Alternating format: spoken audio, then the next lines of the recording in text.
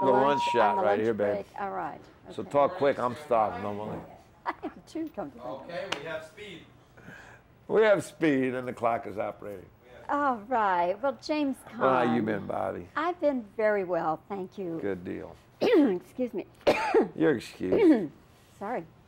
ah, hell, that's all right. Here we are in Las Vegas to kick off your movie So Honeymoon this is the way I spend all of my time in Vegas, in a, in a room. Not in Vegas, I have to take your word for it because it's behind me, right? It is. Okay, so I have to take your word for it. I'm looking at the door. So this could be like Cincinnati, could be Texas. I don't know, but I'll take your word for it. We're in Yes, Vegas. yes. Okay. Had any poker games lately? No, not, not after I lost that last hand. Are, are you a gambler by nature? mm, well, uh, there's lots of ways to gamble, isn't there? That's right. But I mean, I guess you're a gambler, you know, in this business, every time you go out to bet, you know, you're going to make a fool out of yourself or you're not. So I guess that's, that's, that's really gambling. And uh, I'm not an overly cautious guy, so I guess I probably do gamble quite a bit. play the tables. Or, No, that kind of gambling, I, uh, you know, I used to gamble a lot more than I do, but I uh, now, uh, I bet football, stuff like that, and, but I don't, I don't bet so much. To my dad always used to say when I was younger, he says the only time to bet is when you, you know, when you don't have anything, which I did. It's just because when you lose, you, you know, you don't have anything. but uh, I used to bet. I remember when I started this business, I used, God, I owe a bookmaker, you know, like a ridiculous sum of money on a Tuesday. I had no idea where I was going to get it. And I'd go out and just for spite buy some clothes or something on Monday, and then something would always happen. But now I, I bet just because I want to be right.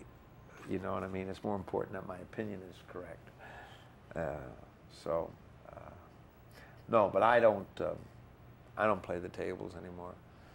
I haven't been to Vegas in a, in a long time. It's not as personalized as it used to be. It's too corporate, too loud, too many machines. You know, too much polyester. you'd never worked with Andrew Bergman before, had you?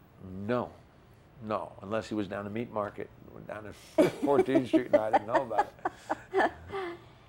Of, of all the directors, and you've worked with some of the best Yes, of I have. all the directors, how, uh, which ones have made the greatest contribution to your craft and your career? Well, I was fortunate in that I was uh, in, in Francis Coppola's very early stages. I did The Rain People when he started making films. Of course, it segued into Godfather. Uh, I started Michael Mann in Thief. You know, that was his very, very first picture. Uh, I've been very fortunate. You know, I've done three pictures with Mark Rydell. I've uh, I work with Rob, of course, in Misery. You know, and, and then Castle Rock, and it's my first time with Andy, and and Andy uh, is uh, has all the equipment to be a great a director. I mean, not that he's not, you know, no, but he has the equipment, but he has certainly the, the writing capabilities, which I think are fantastic. You know, I mean, I was always a fan of his uh, as a writer, a, a comic writer. You know, uh, starting with uh, uh, Blazing Saddles, him and Mel, and then The In-Laws, which is hysterically funny, and, and this, and um, I think uh, he's well on his way.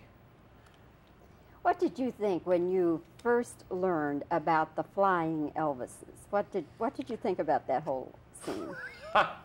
I thought it was a touch overboard till I got here, and then I realized how how many people really believed in that, you know. And then and when these guys jumped, all them, all these Elvis impersonators, they really believed he was coming back, you know. I thought that was uh, that was was pretty amazing. Those guys are pretty uh, pretty handy. Were you amazed that they could pull off that stunt? Yeah, they, that was pretty uh, pretty handy because the first the first one we watched, the first jump we watched, those poor guys. I mean, because some helicopter got in the middle of them or something. They were. One guy got hung up on a light pole. Another guy got mashed in the middle of a. But then every jump, Suzanne Sherrill, she's my assistant, she thinks it's hysterical. She likes people getting crushed. I don't know what's the matter. She's sick, but she's down from your way. That's why. she's hiding as if the camera's on her. But uh, uh, the wind had to be just right. You know, it was pretty hairy jumping into that parking lot at night. But every time after that, those guys hit pretty dead center. It was pretty pretty amazing. They jumped. How many times did they jump? Does anybody know? Three to four times, I think they jumped. And, and uh, after that first one, where that wind got a little, uh, you know, the if there's no wind, it's very dangerous, and if there's too much wind, it's it's it's, it's pretty dangerous. I mean, when you, especially if you're jumping into a, you know, one guy they almost peeled off the side of this building, over, uh, the Bally's building over there. But uh, fortunately, nobody got hurt, and apparently these guys are, are going pretty strong. They're jumping all over the place. And it sure makes for a great scene in the movie. Jimmy. Well, it's good. I'm not in that one. I know. I just thought I'd inform you that, Bobbie. I love doing interviews with you. Tell me what else is great that I'm not in. No, that's great you. Know you you're, you know you're good in this. You know you are. No, I'll, I'll I, again, I have to take your word for it. It's just like say, Say shoulder. goodbye in Hawaiian. Shaka, brother. Where you been, stay go. Jimmy, good to talk with you. Nice Thank you you, so much. Nice. Congratulations. Thanks. The lunch, on shot right lunch here, babe. All right. So talk quick. I'm starving normally. I am too, come to think of it. Okay, we have speed. We have speed, and the clock is operating. All right. Well, James Caan. Well, how you been, Bobbie? I've been very well, thank you. Good deal. Excuse me. You're excused. Sorry. ah, hell, that's all right. Here we are in Las Vegas to kick off your movie Honeymoon this is the way I spend all of my time in Vegas, in a, in a room. In Vegas, I have to take your word for it because it's behind me, right? It is. Okay, so I have to take your word for it. I'm looking at the door. So this could be like Cincinnati, could be Texas. I don't know, but I'll take your word for it. We're in Yes, Vegas. yes. Okay. Had any poker games lately? No, not, not after I lost that last hand. Are, are you a gambler by nature?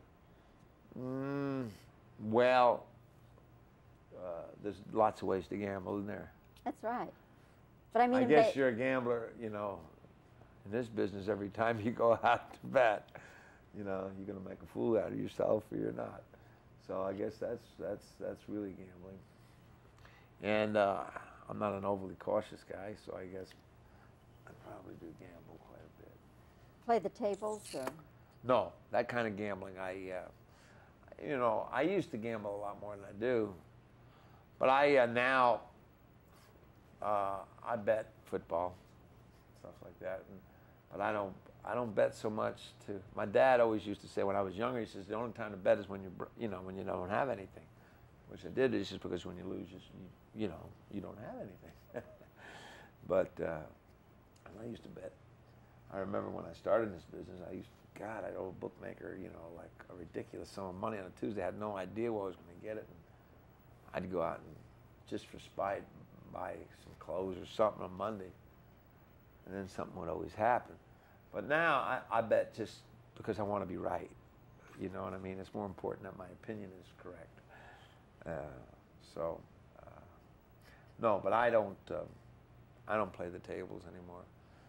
I haven't been to Vegas in a, in a long time. It's not as personalized as it used to be. It's too corporate, too That- loud, too many machines. You know, too much polyester. you'd never worked with Andrew Bergman before, had you? No, no, unless he was down the meat market, down at 14th Street, and I didn't know about it. Of, of all the directors, and you've worked with some of the best. Yes, Of all the directors, how, uh, which ones have made the greatest contribution to your craft and your career? Well, I was fortunate in that I was uh, in, in Francis Coppola's very early stages. I did The Rain People when he started making films. Of course, it segued into Godfather. Uh, I started Michael Mann in Thief. You know, that was his very, very first picture. Uh, I've been very fortunate. You know, I've done three pictures with Mark Rydell. I've, uh, I work with Rob, of course, in Misery, you know, and, and then Castle Rock, and it's my first time with Andy, and and Andy uh, is uh, has all the equipment to be a great a director. I mean, not that he's not, you know, no, but he has the equipment, but he has certainly the, the writing capabilities, which I think are fantastic. You know, I mean, I was always a fan of his uh, as a writer, a, a comic writer. You know, uh, starting with uh, uh, Blazing Saddles, him and Mel, and then The In-Laws, which is hysterically funny, and, and this, and um, I think uh, he's well on his way. What did you think when you first learned about the flying Elvises? What did what did you think about that whole scene?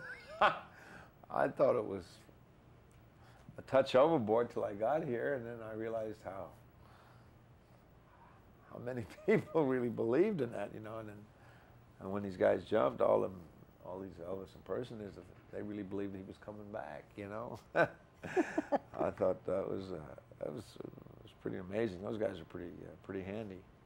Were you amazed that they could pull off that stunt? Yeah, that was pretty uh, pretty handy because the first the first one we watched, the first jump we watched, those poor guys. I mean, because some helicopter got in the middle of them or something. They were. One guy got hung up on a light pole. Another guy got mashed in the middle of a.